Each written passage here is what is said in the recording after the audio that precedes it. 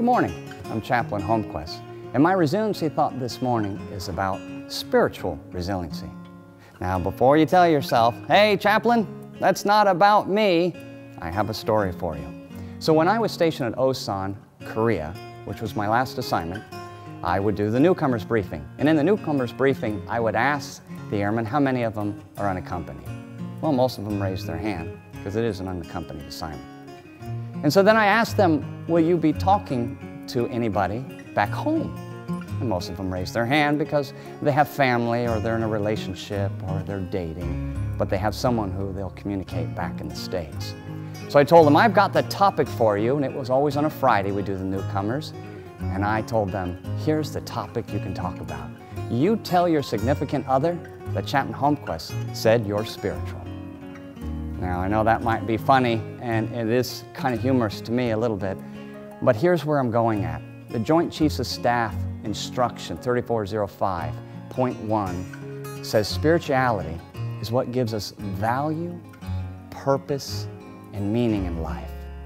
What gives us value, purpose, and meaning in life. See, something gives you purpose in your life. Something helps you put one foot in front of the other to be able to get out the door. What is that? What I've learned being a chaplain for so many years is that many young people don't know what gives them value, purpose, and meaning in life. They haven't thought about it. They're busy with life, busy with college, busy with the Air Force, and they just haven't stopped and thought about it. But what I want to do is I'm challenging you to think about it.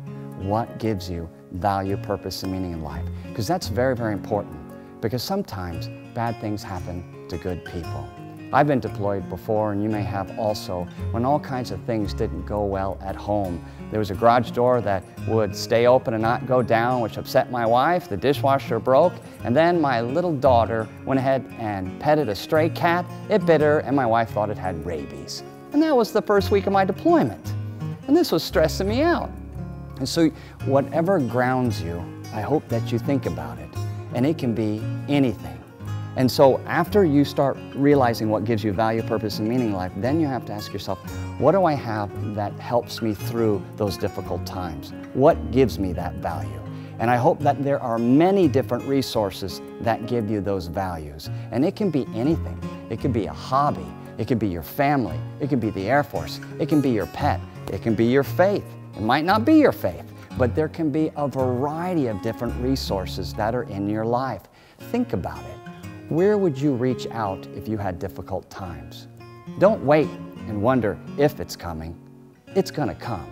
It's just a matter of time.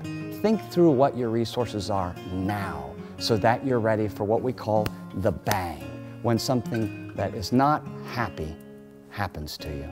Lastly, one, you think about what gives you value, purpose, and meaning in life. Two, you have a lot of resources. But to complete what I call the spiritual resiliency cycle is you have to have good connectability.